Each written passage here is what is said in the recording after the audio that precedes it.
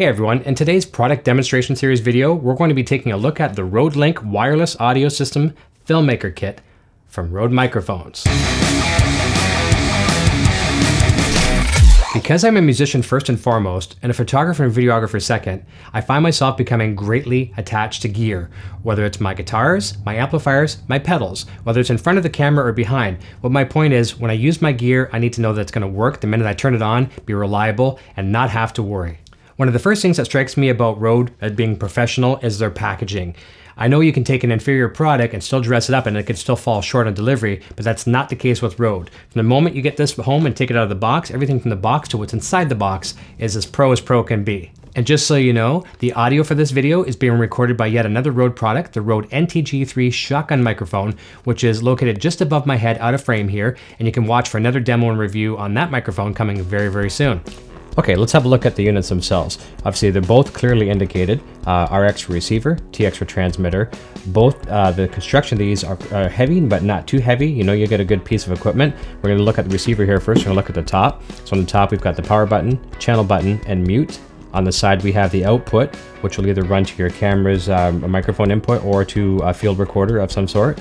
And then you have a USB power source. This can actually be powered by a USB battery pack or whatnot instead of the uh, AA batteries which are inside. And to do that on the bottom, to open up the battery compartment, just press this down and slide it. Very, very nice. The door does not come all the way off, uh, so you can't let it fall or break or anything like that. Two AA batteries. Uh, you've got a, a decibel uh, gain control here as well, so zero, which in the most cases where I leave it at. And I didn't even touch it in this demonstration, so it was left at zero. You've got plus 10 and plus 20. Uh, for most cases, you're probably going to want to leave it at zero and depending on the microphone that you're using with it. And then you've got a pairing button as well too. On the bottom of it, obviously, you have a hot shoe um, connector. And one thing I like about this, I was kind of baffled the first time seeing it with the round hot shoe. I didn't even know it was actually a shoe connector. You put it on the camera. In a traditional fashion, straight. Or, if you need, for any particular reason, you need to rotate it, you can rotate it really 360 degrees, wherever you need that to go. Can totally, totally swivel wherever you need it. I like that feature, very, very cool. And I find them very easy to get on and off as well too. Very, very nice, I like that. Uh, another cool feature I like about it too is that the, when they have the jack on the left hand side of the camera, most cameras, at least mine, uh, the microphone jack is on the side of the camera. So when I'm using the included cable, which is this, it has actually the threaded, the threaded coupler. I'll keep it on there without coming off and then boom, straight to your microphone. So it's perfect, perfect for that. I love that feature. Obviously, I showed you the cable that comes with it. I'll show you what does come with it. So obviously, you got two units. We have the actual cable itself, which and it's bungee, you know what I mean? As a coil cord, which is very nice. It's long enough to reach certain things without without having a bunch of cord hanging. You get the lavalier itself, which is very, very good material. This is going to be very hard to break. Uh, threaded count on the end as well too. So there's your lavalier with actually the clip, and then um, small foam windscreen. And what's nice about it too is actually a little plastic insert on that. So when you go to put it on, it snaps on very, very nice. It's not just the foam, there's actually a piece of plastic insert on there as well too. And some other videos I saw online, I didn't see this that came with it. And actually it does with mine, uh, the mini fur lav uh, kind of windscreen. And you'll see me using this in the video and this was a godsend because when I was out in the field, um, there was times where the wind was pretty intense, so I was just using the regular foam windscreen, and it did not do the trick. This I put this on there, and it did look a little odd on my shirt. It looked like I had a, a bug or something crawling on my shirt. However, it was almost virtually noiseless. And here again, too, it has a slight plastic insert in there as well, too. So putting this on goes on very, very nice. And then clip to your shirt, and you're ready to go. Has a little vinyl-esque leather look. Uh, little carry bag and I do carry everything inside there, which is very nice. Little drawstrings, you can pull it tight. Very, very nice. Nice attention to detail. Let's actually try the units here for a moment. The, the ease of pairing these things are so, so effortless. You go out in the field, you turn the two things on, and they will find each other, which is great. Uh, no, I, I, still have the plastic on this one. We can always peel that off. I haven't taken that off yet. Looks like I've got it on this one too. We'll take that off too. All right, we're gonna turn them on. Press and hold. Okay, and you see the one is blinking and this is over here trying to find the signal as well too. You watch it'll happen. It's searching, it's searching, it's searching, and then it's going to stop when they find each other. There you go, it's found it, and the one is stopped blinking over here. So that's indicating that both of these are on channel one. You can put these on any channel that you want if you're using multiple of these products. Uh, in my case here, I'm using channel one, and uh, and it works perfect for me. Now, you also on this indicator here, on the receiver, it's showing a battery indicator of both the receiver and the transmitter.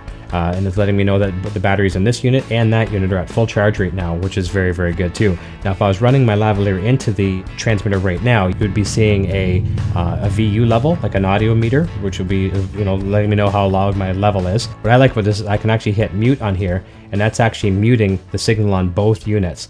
Now I can actually, this is what I really like about this. So actually if the person was in between scenes and you wanted to mute everything, they could go and have a conversation, um, in, you know, and, and not have the, their audio being picked up. That's a perfect example for that. But I can go a step further and I can press and hold the mute button and watch what'll happen over here.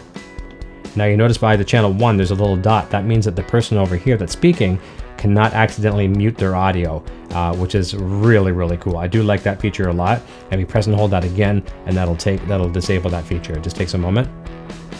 And there you go.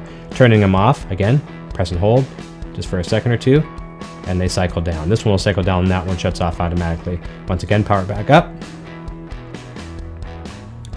Like want to find one another. Just takes a moment.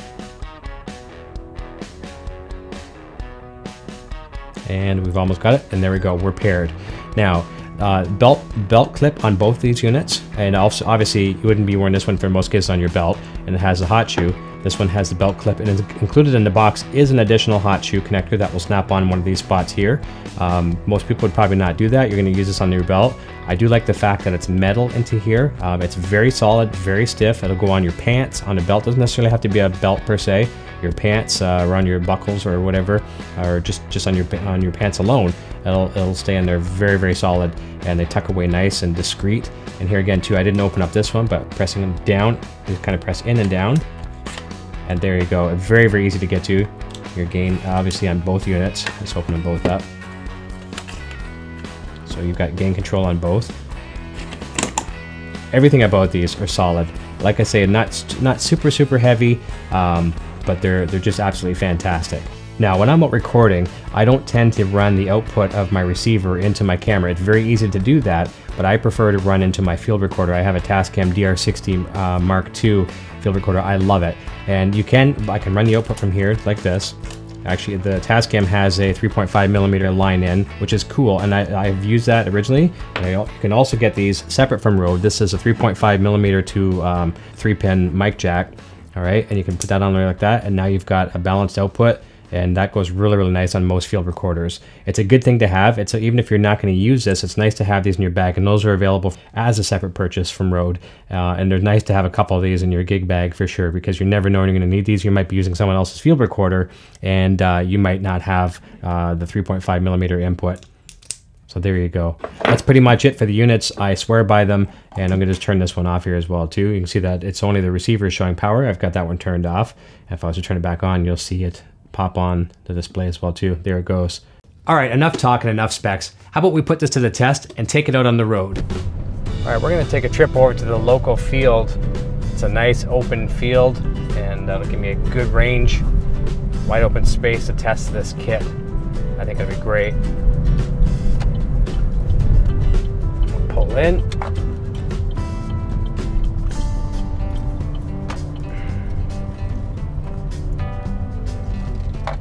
And we are here. All right, let's go set up out in the field. All right, guys, we're here in the field. We're gonna give this a test. We've got a nice wide open field here. Uh, the breeze is kind of up and down. It's been as high as around 30 to 45 kilometers an hour, somewhere in that neighborhood, a cross breeze, so it's gonna play some havoc on the audio. But this is probably a good a worst case scenario test. Let's give it a try. And it does vary a little bit. I'm gonna read some notes from the Rode website as I walk into the distance and we'll see how far I can go before it starts cutting out. And forgive me for the wind and forgive me for the messy hair. All right, so let's give this a try. Start walking and we'll see what we got. RodeLink represents the next generation of digital wireless systems. Using a Series 2 2.4 GHz digital transmission with 128-bit encryption, it is able to constantly monitor and hop between frequencies to maintain the strongest possible signal level at a range of up to 100 meters, over 100 yards. The RodeLink Filmmaker Kit provides everything you need to start shooting video wirelessly, including a receiver, transmitter, and a broadcast-grade lavalier microphone.